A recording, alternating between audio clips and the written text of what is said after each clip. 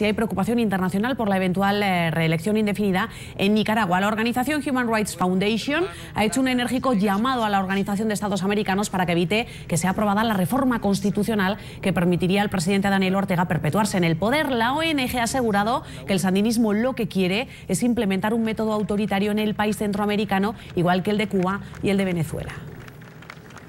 Y en diálogo con NTN 24, Javier El Hash, director jurídico internacional de Human Rights Foundation, aseguró que es preocupante que los países usen reformas constitucionales para beneficiar a los gobiernos de turno. Recordó lo sucedido en la década de los 90 con el expresidente peruano Alberto Fujimori un desarrollo eh, muy peligroso, muy, muy preocupante lo que está ocurriendo en América Latina, en que, en que son varios ya los gobiernos que utilizan la reforma constitucional para beneficiar a los poderes ejecutivos de turno. Eh, en los años 90, cabe, es importante anotar, también se dio este tipo de proceso, especialmente con el gobierno peruano de Alberto Fujimori, que repetidamente reformó la constitución, cooptó las instituciones, terminó cerrando el Congreso en su momento, todo con la finalidad de mantenerse en el poder indefinidamente.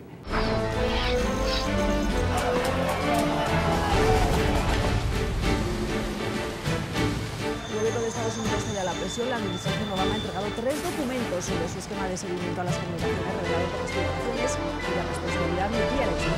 contratista de la Álvarez. Las elecciones presidenciales de Venezuela, donde resultó electo como mandatario de este país, Nicolás Maduro, ya que la organización no tuvo